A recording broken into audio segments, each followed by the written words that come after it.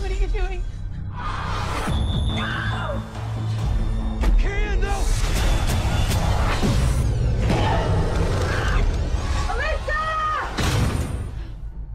Miss Cassidy? I'm looking for Elissa. Is she here? No, ma'am.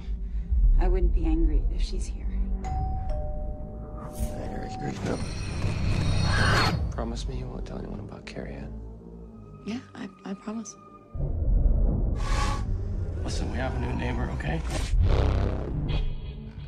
Her name's Elissa, and her and her mom just moved in. I want you to leave her alone. You understand me?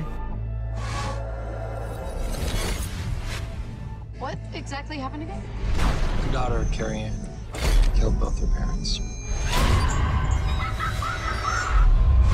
You know that house is the reason why we can even afford to rent this house. Really? Double murder.